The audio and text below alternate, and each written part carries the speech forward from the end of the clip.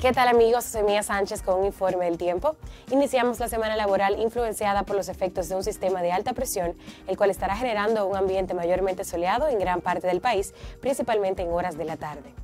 Se esperan chubascos aislados de corta duración durante horas de la mañana en algunos poblados de las regiones noreste, norte y la cordillera central, y dichas precipitaciones estarán asociadas a la incidencia del viento cálido del sureste, así como a los efectos locales del calentamiento diurno y una débil vaguada en superficie localizada en aguas del Océano Atlántico.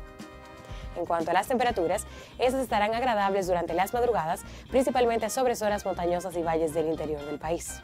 Sin embargo, se tornarán calurosas a medida avancen las horas debido a la incidencia del viento cálido del sureste. Hasta aquí el informe del tiempo. Recuerda visitar nuestro portal web www.rnn.com.do y nuestras redes sociales como Noticias RNN. Hasta una próxima.